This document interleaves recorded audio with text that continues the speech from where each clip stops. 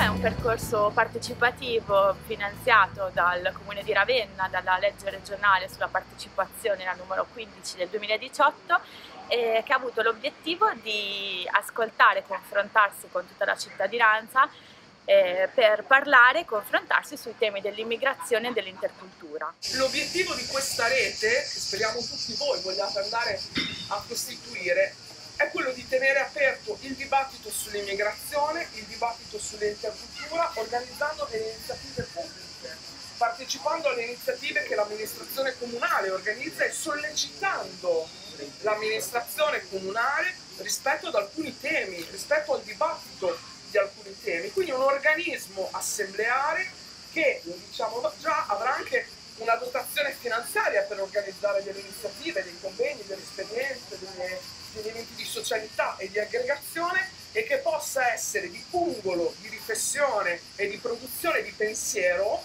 sociale, pubblico, comune, attorno ai temi dell'immigrazione e dell'intercultura. È un obiettivo grande, molto bello, e io spero che eh, dire, voi troviate l'entusiasmo nel percorso e decidiate di dare vita insieme a noi a questa rete, lo facciate con l'entusiasmo che eh, ci ha accompagnato nel corso di tutta, di tutta questa esperienza.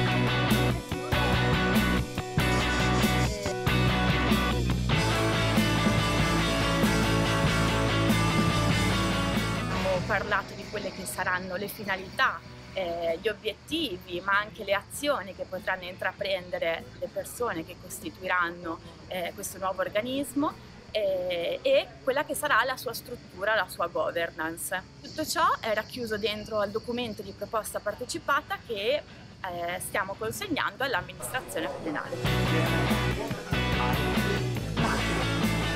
È stata un'esperienza straordinaria, molto coinvolgente. È stato realizzato un percorso partecipativo che ha visto il contributo di tantissimi cittadini, moltissime associazioni ed anche dei consigli territoriali della città. Un'esperienza che ci lascia in eredità idee, molti spunti di riflessione e molte proposte. Un patrimonio di azioni per una città eh, sempre più inclusiva ed interculturale, che sarà eh, la base per la futura eh, rete interculturale.